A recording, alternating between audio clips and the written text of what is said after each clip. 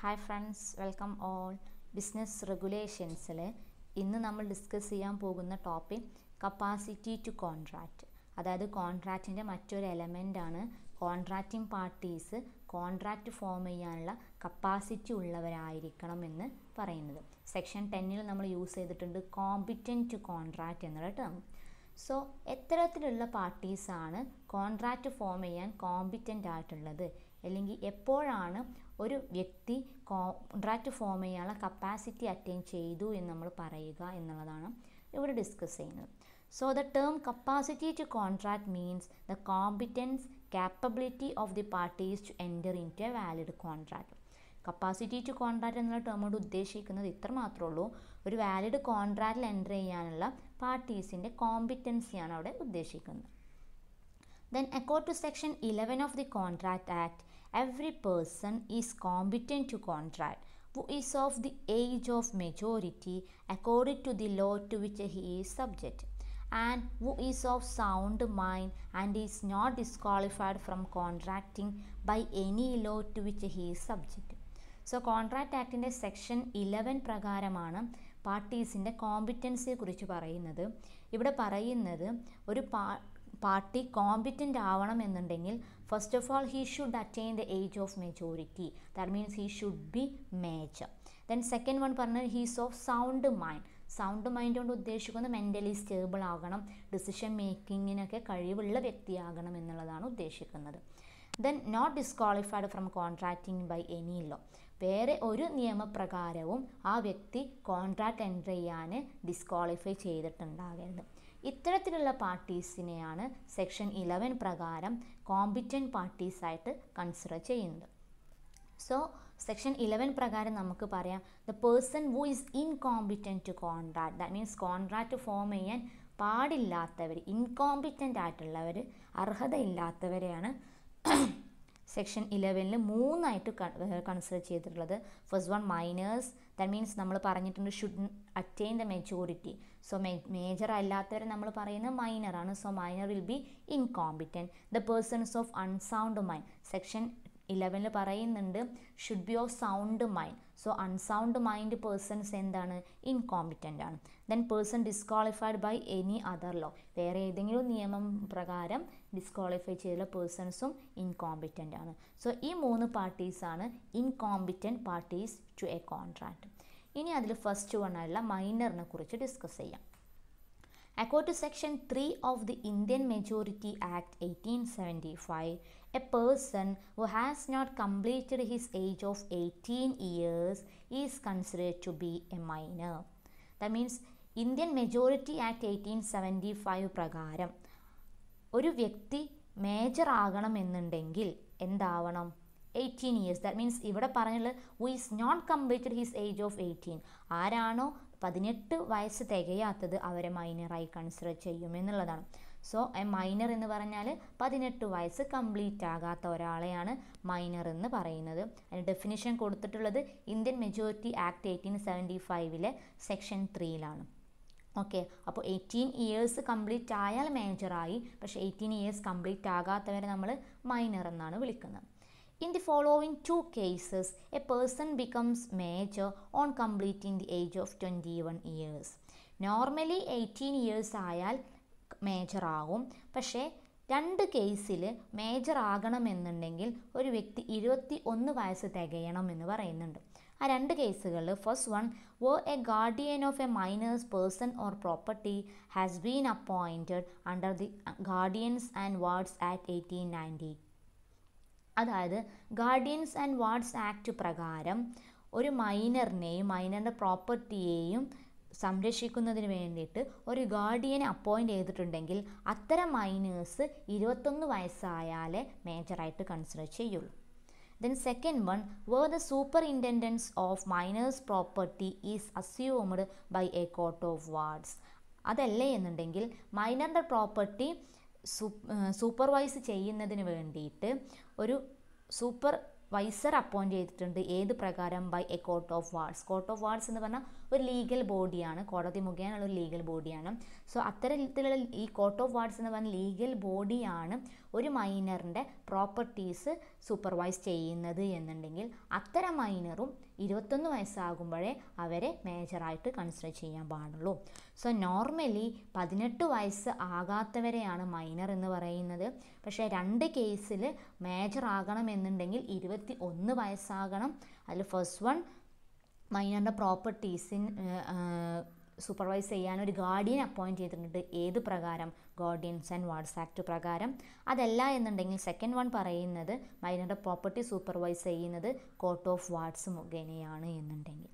Okay then rules regarding minors agreement ഒരു minor agreement form ചെയ്യുമ്പോൾ ചില റൂൾസ് ആണ് പറയുന്നത് Then normally the law protects minors' rights because they are not mature and may not possess the capacity to judge what is good and what is bad for them.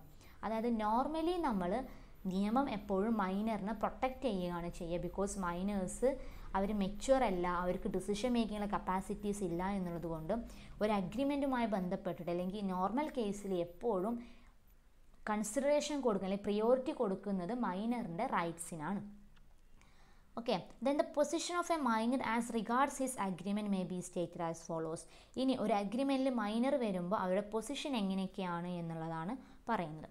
An agreement with or by a minor is void ab initio that means minor ആയിട്ടുള്ള ഒരു agreement void ab from the beginning it is void absolutely void എന്നാണ് പറയുന്നത്. അതിലൊരു അപ്പീലും ഇല്ല. Minor include ചെയ്യുന്ന agreement എപ്പോഴും void ആകും. വോയിഡ് ഫ്രം ദ ബിഗിനിങ് ആണ്. ദെൻ ഇതുമായി ബന്ധപ്പെട്ട ഒരു കേസാണ് മോഹിരി ബി വേഴ്സസ് ദുർമോ ദുർമോദാസ് ഘോഷ്. അതായത് ദുർമോദാസ് ഘോഷ് ഒരു മൈനറാണ് അവരെന്ത് ചെയ്തു? ഒരു എണ്ണായിരം രൂപ മോഹിരി ബീബീസ് ഹസ്ബൻഡിന്റെ അടുത്ത് നിന്ന് വാങ്ങി. മോഹിരി ബീബിന്റെ ഹസ്ബൻഡിന്റെ കയ്യിൽ നിന്നും ഒരു എണ്ണായിരം രൂപ ദുർമോദാസ് ഘോഷ് വാങ്ങിയിട്ടുണ്ട്. ദുർമോദാസ് ഘോഷ് മൈനറാണ് ദെൻ അതിന് പകരമായിട്ട് ദുർമോദാസ് ഘോഷ് എന്ത് ചെയ്തു? അയാളുടെ പ്രോപ്പർട്ടി സെക്യൂരിറ്റി ആയിട്ട് വെച്ചിട്ട് ഒരു ബോണ്ട് എടുത്ത് കൊടുത്തിട്ടുണ്ട്. ഓക്കെ ദെൻ മോഹിരി ബീബിന്റെ ഹസ്ബൻഡ് മരണപ്പെട്ടു. ദെൻ മോഹിരി ബീബി അതിനുശേഷം എന്ത് ചെയ്തു? ആ മോഡ്ഗേജ് ദാറ്റ് മീൻസ് ആ ബോണ്ട് ദുർമോദാസിന്റെ ഗോ ദുർമോദാസിന്റെ സെ പ്രോപ്പർട്ടി സെക്യൂർ ചെയ്തിട്ടുള്ള ആ ബോണ്ട് യൂസ് ചെയ്തിട്ട് ആ കിട്ടാനുള്ള എമൗണ്ട് റിക്കവർ ചെയ്യാനുള്ള ശ്രമം നടത്തി. പക്ഷേ അവിടെ വിധി വന്നത് എന്താണെന്ന് വെച്ചാൽ മൈനറിന്റെ പ്രോപ്പർട്ടി ദാറ്റ് മീൻസ് മൈനറിന്റെ കയ്യിൽ നിന്ന് ഒരിക്കലും ആ എമൗണ്ട് റിക്കവർ ചെയ്യാൻ കഴിയില്ല. കാരണം മൈനറുമായുള്ള ആ അഗ്രിമെന്റ് എന്തായിരുന്നു? വോയിഡ് ആയിരുന്നു. സോ അവിടെ വോയിഡ് അഗ്രിമെന്റ് എൻഫോഴ്സബിൾ അല്ല. അതുകൊണ്ട് തന്നെ മോഹിരി ബീബിക്ക് ആ എണ്ണായിരം രൂപ മൈനറിന്റെ കയ്യിൽ നിന്ന് ദുർമോദാസിന്റെ കയ്യിൽ നിന്ന് ക്ലെയിം ചെയ്യാൻ കഴിഞ്ഞില്ല. സോ ബേസിക്കലി ഒരു മൈനർ ഇൻക്ലൂഡുള്ള അഗ്രിമെന്റ് എന്താണ്? വോയിഡാണ് അവിടെ ഇൻ എൻഫോഴ്സബിലിറ്റി അലൗഡ് അല്ല. The next one, a minor can be a promise or a beneficiary. Though minor is incompetent to a contract, nothing prevents making the other party bound to the minor.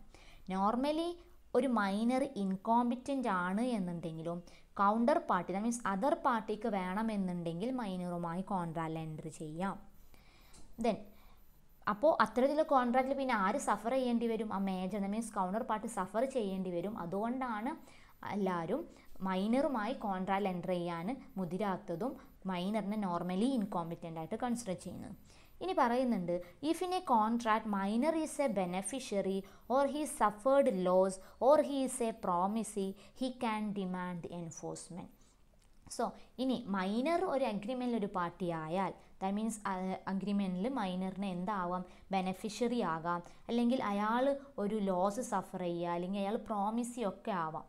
So അത്തരം കേസുകളിൽ മൈനറിന് enforce ചെയ്യാനുള്ള right ഉണ്ട് എന്നുള്ളതാണ് പറയുന്നത് so മൈനറിന്റെ ബെനഫിറ്റിന് വേണ്ടിയിട്ട് form ചെയ്ത അഗ്രിമെന്റിൽ മൈനറിന് എൻഫോഴ്സബിലിറ്റി ഉണ്ട്. ദാറ്റ് മീൻസ് മൈനറിന് എന്തെങ്കിലും പ്രോബ്ലം വന്നാൽ മൈനറിന് അത് കോടതിയിലേക്ക് മൂവ് ചെയ്യാം എന്നുള്ളതാണ് പറയുന്നത്. സോ അവിടെ പറഞ്ഞു വരുന്നത് എന്ത് തന്നെയാണ് മൈനറിന്റെ റൈറ്റാണ് എപ്പോഴും പ്രൊട്ടക്റ്റ് ചെയ്യുന്നത്. കൗണ്ടർ പാർട്ടിയെ ആരും കൺസിഡർ ചെയ്യുന്നില്ല. So agreement entered into a minor for his benefit are valid and enforceable അപ്പോൾ നമുക്ക് എന്ത് പറയാം? മൈനറിന്റെ ബെനഫിറ്റിനുള്ള അഗ്രിമെന്റ് ആണെങ്കിൽ അത് വാലിഡായിട്ട് കൺസിഡർ ചെയ്യാം. അത് മൈനർക്ക് അതിനുള്ള അത് സ്യൂ ചെയ്യാനുള്ള റൈറ്റും ഉണ്ട്. അതുകൊണ്ട് അത് എൻഫോഴ്സബിൾ ആണ് എന്ന് പറയാം. സോ അവിടെ എപ്പോഴും പ്രൊട്ടക്റ്റ് ചെയ്യുന്നത് മൈനർ റൈറ്റ്സ് ആവും. അതുകൊണ്ട് തന്നെയാണ് മറ്റുള്ള പാർട്ടീസ് മൈനറുമായി അഗ്രിമെന്റിൽ എൻട്രി ചെയ്യാത്തത്. ഇനി മറ്റേ പാർട്ടീസിന് അതിന് കുഴപ്പമില്ല അതൊരു പ്രോബ്ലം അല്ല എന്നുണ്ടെങ്കിൽ മൈനറുമായി ബൗണ്ട് ചെയ്യുന്നതുകൊണ്ട് പ്രശ്നമില്ല. A minor can draw negotiate or endorse a negotiable instrument so as to incur any liability upon so as not to incur any liability upon himself ഇനി മൈനർ നമ്മൾ പറഞ്ഞു മൈനർക്ക് ഒരു ബെനഫിഷ്യറി ആയിട്ട് ഒരു അഗ്രിമെന്റിൽ ആക്ട് ചെയ്യാം. അതുകൊണ്ട് തന്നെയാണ് മൈനറിന് നെഗോഷ്യബിൾ ഇൻസ്ട്രുമെന്റ്സ് നെഗോഷ്യബിൾ ഇൻസ്ട്രുമെന്റ്സ് എന്ന് പറഞ്ഞാൽ cheque bill of exchange promissory note ഇതൊക്കെയാണ് നെഗോഷ്യബിൾ ഇൻസ്ട്രുമെന്റ്സ് സോ അത്ര നെഗോഷ്യബിൾ ഇൻസ്ട്രുമെന്റ്സ് ഡ്രോ ചെയ്യാനും അത് ട്രാൻസ്ഫർ ചെയ്യാനൊക്കെ ഉള്ള റൈറ്റ് ഉണ്ട്. പക്ഷേ അവിടെ മൈനറിന് ഒരു തരത്തിലുള്ള ലാബിലിറ്റി വരാൻ പാടില്ല എന്നുള്ളതാണ് പറയുന്നത്. സോ മൈനറിന് ഒരു അഗ്രിമെന്റിൽ ബെനഫിഷ്യറി ആകാം പ്രോമിസി ആകാം. അത്തരത്തിലുള്ള അഗ്രിമെന്റ് വാലിഡ് ആണ്. അത് മൈനറിന് എൻഫോഴ്സബിളും ആണ് എന്ന് പറയാം. The next one ratification on attaining majority is not allowed since a contract with or by a minor is altogether void he cannot ratify contracts entered into by him during his minority even after attaining the majority. Suppose ഒരു വ്യക്തി minor ആകുമ്പോൾ form ചെയ്ത ഒരു agreement അതിലെന്തെങ്കിലും problem വന്നാൽ then problem വന്നു. That means അത് enforceable അല്ല.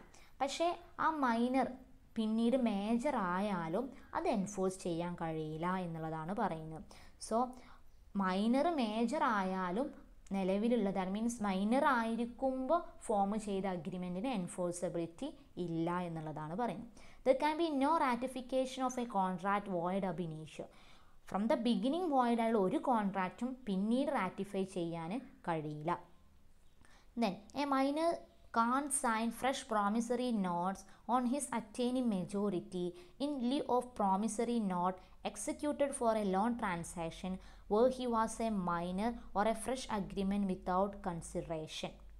That means ഇവിടെ പറയുന്നത് ഒരു മൈനർ മൈനർ ആയിരിക്കുമ്പോൾ ഫോം ചെയ്ത ഒരു പ്രോമിസറി നോട്ട് അവർ ദാറ്റ് മീൻസ് ആ മൈനർ പിന്നീട് മേജർ ആക്കിയപ്പോൾ ആ പഴയ പ്രോമിസറി നോട്ടിന് പകരമായിട്ട് ഒരു പുതിയ പ്രോമിസറി നോട്ടോ അല്ലെങ്കിൽ പുതിയ അഗ്രിമെന്റോ ഫോം ചെയ്യാൻ കഴിയില്ല എന്നുള്ളതാണ് പറയുന്നത്. സോ മൈനർ മൈനർ ആയിരിക്കുമ്പോൾ ഒരു പ്രോമിസറി നോട്ടിന് പകരം മേജർ ആയി കഴിഞ്ഞാലും ഒരു പ്രോമിസറി നോട്ടോ ഒരു ഫ്രഷ് അഗ്രിമെന്റ് വെക്കാൻ കഴിയില്ല. മൈനർ ആയപ്പോഴുള്ള പ്രോമിസറി നോട്ട് അവിടെ തീർന്നു. അത് വോയിഡ് അഭിനയിച്ചാണ് അതുമ പിന്നെ ഒന്നും ചെയ്യാൻ കഴിയില്ല. മേജർ ആയതിനു ശേഷം വേറെ ഫ്രഷ് അഗ്രിമെന്റ് തുടങ്ങാം. പക്ഷെ അത് എന്തിന് പകരമാകരുത്? മൈനർ ആയിരിക്കുമ്പോൾ ഉണ്ടായിരുന്ന പ്രോമിസറി നോട്ടിന് പകരമാകരുത് എന്നാണ് പറയുന്നത്. സോ ഇവിടെ ശ്രദ്ധിക്കാനുള്ളത് ഇത്രയേ ഉള്ളൂ. ഒരു മൈനർ മൈനർ ആയിരിക്കുമ്പോഴുള്ള അഗ്രിമെന്റ് മേജർ ആയതിന് ശേഷം അംഗീകാരം കൊടുക്കാൻ കഴിയില്ല അത് പിന്നീട് വാലിഡ് ആക്കാൻ കഴിയില്ല എന്നുള്ളത് മനസ്സിലാക്കാം then cannot be asked to compensate or repay any benefit received under void agreement. If a minor retained any benefit under the agreement, he is not liable for repay or compensate the same. അതായത് minor ഒരു അഗ്രിമെന്റിൽ enter ചെയ്തു. Then ആ അഗ്രിമെന്റിൽ minor benefit ആയിരുന്നു വിചാരിക്കാം. So counter പാർട്ടിക്ക് that means ആ പാർട്ടിക്ക് എന്തെങ്കിലും പ്രോബ്ലം വന്നു അയാൾക്ക് ഒരിക്കലും മൈനർ കോമ്പൻസേറ്റ് ചെയ്യണമെന്നോ അതല്ലെങ്കിൽ മൈനറിന് കിട്ടിയ ബെനഫിറ്റ് തിരിച്ചു കൊടുക്കണം എന്നോ പറയാനുള്ള അവകാശമില്ല. ബിക്കോസ് ആ അഗ്രിമെന്റ് എന്താണ്? വോയിഡ് അഗ്രിമെന്റ് ആണ്. സോ വോയിഡ് അഗ്രിമെന്റുമായി ബന്ധപ്പെട്ട് ഒരു പാർട്ടി റിസീവ് ചെയ്ത ബെനഫിറ്റ് തിരിച്ചു കൊടുക്കാനോ അതുമായി ബന്ധപ്പെട്ട് കോമ്പൻസേഷൻ ക്ലെയിം ചെയ്യാനോ ആർക്കും കഴിയില്ല. ദെൻ അവിടെ ഒരു എക്സാമ്പിൾ കൊടുത്തിട്ടുണ്ട്. A minor attains a loan by mortgaging his property not only him but also his property can be he liable to repay the loan അതായത് ഒരു മൈനർ ഒരു ലോൺ എടുത്തു. ദെൻ ലോൺ എടുത്ത് സപ്പോസ് അദ്ദേഹം അയാളുടെ ദ മീൻസ് മൈനർ അവരുടെ property വെച്ച് mortgage ചെയ്തുകൊണ്ട് തന്നെയാണ് ലോൺ എടുത്തിട്ടുള്ളത്. ദെൻ മൈനർ ലോൺ റീപേ ചെയ്തില്ല എന്നുണ്ടെങ്കിൽ ആ ബാങ്കിന് അല്ലെങ്കിൽ ലോൺ കൊടുത്ത ആൾക്ക് ഒരിക്കലും മൈനറുടെ കയ്യിലുള്ള എമൗണ്ട് ക്ലെയിം ചെയ്യാൻ കഴിയില്ല. ഈവൻ അയാളുടെ മോഡ്ഗേജ് ചെയ്ത പ്രോപ്പർട്ടി യൂസ് ചെയ്ത് പോലും ക്ലെയിം ചെയ്യാൻ കഴിയില്ല എന്നുള്ളതാണ് പറയുന്നത്. Okay then minor can always plead minority no estoppel against him അതായത് ഇവിടെ പറയുന്നത് ഒരു മൈനറിന് മൈനർ ആയിരിക്കുമ്പോൾ എന്റർ ചെയ്ത അഗ്രിമെന്റ് വോയിഡ് ആയതുകൊണ്ട് തന്നെ ആ സമയത്ത് അവർ മൈനർ ആയിരുന്നു എന്നുള്ളത് അവർക്ക് എപ്പോൾ വേണമെന്നുണ്ടെങ്കിലും ബാധിക്കാം അവിടെ പറയുന്നത് എസ്റ്റോപ്പൽ എന്നുള്ള ഒരു പ്രിൻസിപ്പിൾ ഉണ്ട്. എസ്റ്റോപ്പൽ എന്നുള്ള ഉദ്ദേശിക്കുന്നത് the person is not allowed to go back upon the early representation അതായത് ഒരു വ്യക്തി ആദ്യം എങ്ങനെയാണോ റെപ്രസെന്റ് ചെയ്തത് ആ റെപ്രസെന്റേഷൻ തന്നെയാകണം പിന്നീടുള്ള അഗ്രിമെന്റിലും എന്നുള്ളതാണ് പറയുന്നത്. പക്ഷേ ആ ഒരു എസ്റ്റോപ്പൽ പ്രിൻസിപ്പിൾ ആരുടെ കേസിൽ വരുന്നില്ല? ഈ മൈനറിന്റെ കേസിൽ വരുന്നില്ല. അതായത് മൈനർ ഫസ്റ്റ് സപ്പോസ് മൈനർ ഒരു പാർട്ടിയെ തെറ്റിദ്ധരിപ്പിച്ചു. അയാൾ മാനേജറാണ് എന്ന് പറഞ്ഞുകൊണ്ട്. അങ്ങനെ മറ്റേ പാർട്ടി എന്തു ചെയ്തു? ഒരു ലോൺ കൊടുത്തു വിചാരിക്കാം. മേജറാണ് എന്നുള്ള വിശ്വാസം കൊണ്ട് ബാങ്ക് അല്ലെങ്കിൽ ആ പണം കടം കൊടുക്കുന്ന ആൾ പണം കടം കൊടുത്തു അല്ലെങ്കിൽ ലോൺ കൊടുത്തു. അവിടെ തെറ്റിദ്ധരി ഫ്രോഡ്ലൻഡിലാണ് അയാൾ മേജർ ആണെന്ന് വരുത്തി തീർത്തിട്ടുള്ളത്. പിന്നീട് അറിയാണ് ഇയാൾ മൈനർ ആയിരുന്നു എന്നുള്ളത്. പക്ഷേ അയാൾ ആ സമയത്ത് മേജർ ആയിരുന്നു മേജറായി റെപ്രസെന്റ് ചെയ്തിട്ടാണ് ലോൺ അറ്റൈൻ ചെയ്തിട്ടുള്ളത്. അതുകൊണ്ട് തന്നെ പ്രിൻസിപ്പിൾ ഓഫ് എസ്റ്റോപ്പൽ അപ്ലിക്കബിൾ ആണ് എന്ന് ഒരാൾക്കും പറയാൻ കഴിയില്ല. കാരണം ഒരു മൈനറിനെ സംബന്ധിച്ചിടത്തോളം എസ്റ്റോപ്പൽ എന്നുള്ള റൂൾ അവിടെ അപ്ലിക്കബിൾ അല്ല. ആ മൈനർ മൈനർ ആയിരുന്നെങ്കിൽ അയാൾക്ക് അത് എപ്പോഴും ബാധിക്കാം ഈവൺ അയാൾ ഫ്രോഡ്ലൻലി മേജർ ആയിട്ട് റെപ്രസെന്റ് ചെയ്തിട്ടുണ്ടെങ്കിലും. സോ ഇത്രയേ ഉള്ളൂ.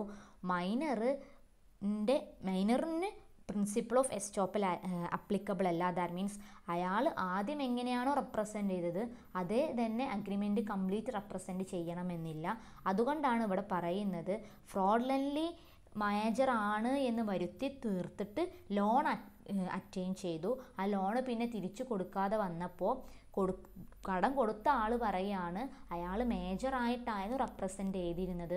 സോ ഈ അഗ്രിമെന്റ് കംപ്ലീറ്റ് അയാൾ മേജർ ആകണം എന്ന് പറഞ്ഞാൽ അത് അലൗഡ് അല്ല because principle of estoppel is not allowed against a minor so മൈനറിന് എപ്പോൾ വേണമെന്നുണ്ടെങ്കിലും അയാൾ മൈനർ ആയിരുന്നു എന്ന് വാദിക്കാം എന്നുള്ളതാണ് പറയുന്നത്. അതുമായി ബന്ധപ്പെട്ട കേസാണ് ലെസ്ലി വേഴ്സസ് ഷെയ് ഇവിടെ ഷെയിൽ എന്ന് പറയുന്ന വ്യക്തി മൈനർ ആയിരുന്നു. അവർ ഒരു എമൗണ്ട് ലെസ്ലിന്റെ കയ്യിൽ നിന്ന് ബോറോ ചെയ്തു. ദെൻ ബോറോ ചെയ്തിട്ട് ഈ മൈനർ എന്ത് ചെയ്തില്ല? അത് തിരിച്ചു കൊടുത്തില്ല. തിരിച്ചു കൊടുക്കുകയാണെന്നുണ്ടെങ്കിൽ എവിടെയും ഒരു പ്രശ്നം വരുന്നില്ല. പക്ഷേ മൈനർ തിരിച്ചു കൊടുക്കാതിരിക്കുമ്പോഴാണ് ആ പണം കടം കൊടുത്ത ആൾക്ക് ബുദ്ധിമുട്ട് വരുന്നത്. സോ മൈനർ ദാറ്റ് മീൻസ് പണം കടം വാങ്ങിയ ആൾ മൈനർ ആയിരുന്നുകൊണ്ട് അയാളുടെ കയ്യിൽ നിന്നൊന്നും റിക്കവർ ചെയ്യാൻ കഴിയില്ല. സോ ലെസ്ലിക്ക് ഷെയിലിന്റെ കയ്യിൽ നിന്ന് ഒരു എമൗണ്ട് റിക്കവർ ചെയ്യാൻ സാധിച്ചില്ല.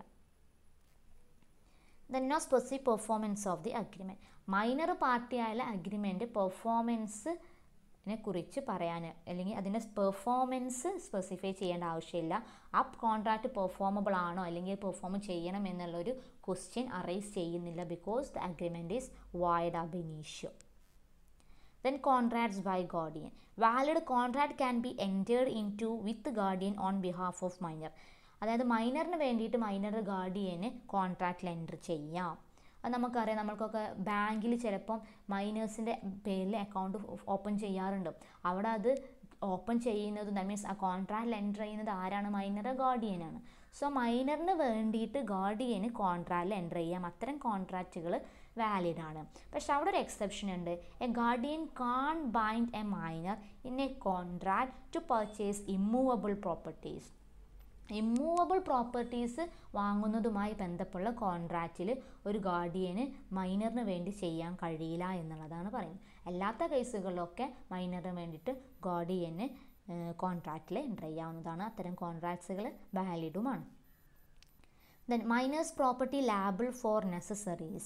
A person who supplies necessaries of life to a minor or his family is entitled to be reimbursed from the properties of minor അതായത് ഒരു മൈനറിനും ആ മൈനറുടെ ഫാമിലിക്കും വേണ്ടിയിട്ട് ഒരു വ്യക്തി നെസസറീസ് നെസസറീസ് എന്ന് പറഞ്ഞാൽ ഫുഡ് ക്ലോത്ത് ദെൻ മറ്റുള്ള basic necessaries that means day to day ലൈഫിൽ ഒഴിച്ചു കൂടാനാകാത്ത സൗകര്യങ്ങളൊക്കെ ഒരുക്കി കൊടുത്താൽ ആ വ്യക്തിക്ക് അവർക്ക് വന്ന ചിലവ് ഈ മൈനറിന്റെ പ്രോപ്പർട്ടിയിൽ നിന്ന് ക്ലെയിം ചെയ്യാം എന്നുള്ളതാണ് പറയുന്നത്.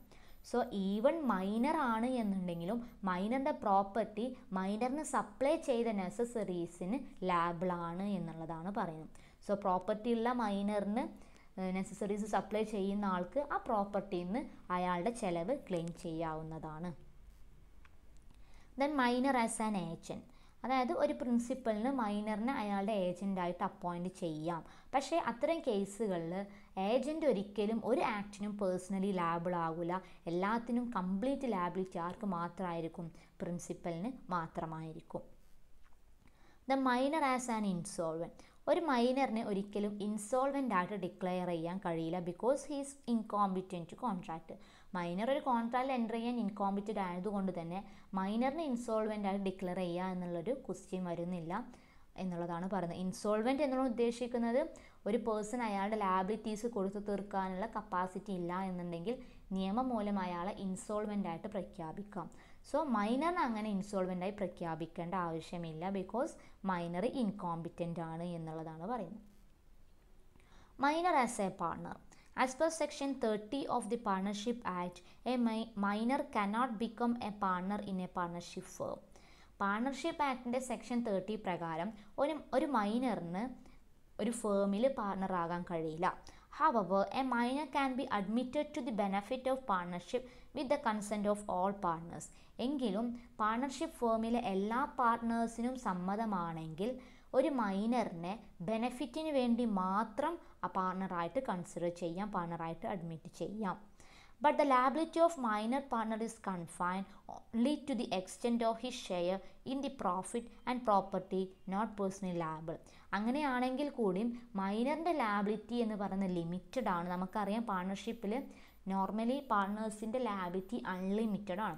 പക്ഷെ ഒരു മൈനർ ആസ് എ ബെനഫിഷ്യറി പാർട്ണറായിട്ടുണ്ടെങ്കിൽ ആ മൈനറിന്റെ ലാബിലിറ്റി എന്ന് പറയുന്നത് ആ ഫേമിൽ അയാൾക്കുള്ള പ്രോഫിറ്റ് ഷെയറിനും പ്രോപ്പർട്ടി ഷെയറിലേക്കും മാത്രം ഒതുങ്ങും. അതിന്റെ അപ്പുറത്തേക്ക് അയാളുടെ പേഴ്സണൽ പ്രോപ്പർട്ടീസ് ഒന്നും എന്തിനും ലാബിളല്ല പാർട്ണർഷിപ്പ് ഫേമിന്റെ ലാബിലിറ്റീസ് ലാബിളല്ല സോ മൈനർ ബെനഫിഷ്യറി പണറാകാം പക്ഷേ അയാളുടെ അയാൾ ഒന്നിനും പേഴ്സണൽ ലാബിൾ ആകുന്നില്ല. ഓക്കെ ഇത്രയാണ് മൈനറുമായി ബന്ധപ്പെട്ടുള്ള ഇമ്പോർട്ടന്റ് പോയിന്റ്സ് പറയാനുള്ളത്. Okay thank